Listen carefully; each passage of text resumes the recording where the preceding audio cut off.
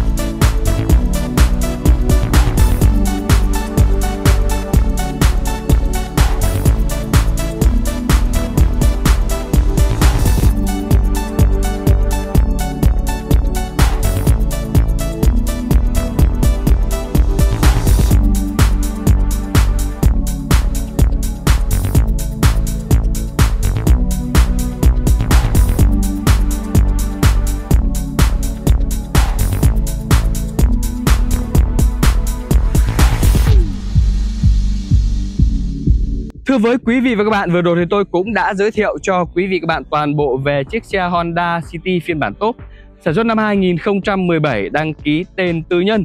Một chủ từ đầu lăn bánh đúng 7 vạn 3 km cam kết với quý vị các bạn là đồng hồ Euro chuẩn zin không tua. Full lịch sử bảo hành bảo dưỡng tại hãng. Và chiếc xe này thì chúng tôi đang bán với giá là 399 triệu đồng thưa quý vị và các bạn. Vậy nếu như quý vị và các bạn nào mà đang quan tâm đến chiếc xe Honda City Top 2017 này thì hãy liên hệ ngay theo số hotline của ô tô 360 chúng tôi đang để phía dưới góc bên phải màn ảnh. Quý vị và các bạn đang xem đấy ạ là 0905 608 883 để được chúng tôi tư vấn. Hoặc chúng tôi có thể mời quý vị và các bạn qua địa chỉ cửa hàng chúng tôi ở số 320 đường Nguyễn Xiển, Hà Nội để được xem xe và lái thử trực tiếp chiếc xe này. Quý vị và các bạn đang theo dõi clip thì xin quý vị và các bạn hãy like clip, hãy đăng ký kênh để ủng hộ cho kênh ô tô 360 của chúng tôi. Và cũng là để đón xem những video mới nhất, những chiếc xe mới nhất chúng tôi đăng lên trên kênh ô tô 360 này. Cảm ơn quý vị và các bạn rất là nhiều. Xin phép quý vị và các bạn cho tôi được dừng video ngày hôm nay tại đây và hẹn gặp lại quý vị và các bạn ở những video tiếp theo ạ. Xin chào và hẹn gặp lại quý vị và các bạn.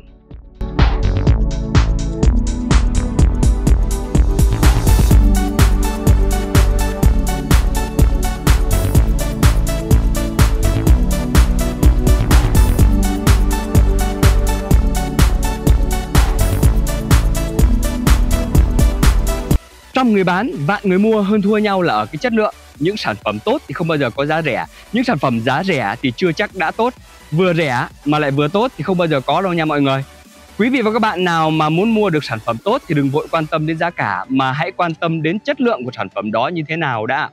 Một điều đặc biệt là khoa học đã chứng minh, những người thường hát một mình trong nhà vệ sinh thì là những người rất là vui vẻ và yêu đời. Những người đang xem video mà like video, đăng ký kênh là những người rất là thông minh vì vậy mà quý vị và các bạn đang theo dõi video thì xin hãy like video, hãy đăng ký kênh để ủng hộ cho kênh ô tô 360 chúng tôi và cũng là để đón xem những video mới nhất, những chiếc xe mới nhất chúng tôi đang lên trên kênh ô tô 360 nè. Cảm ơn quý vị và các bạn rất là nhiều.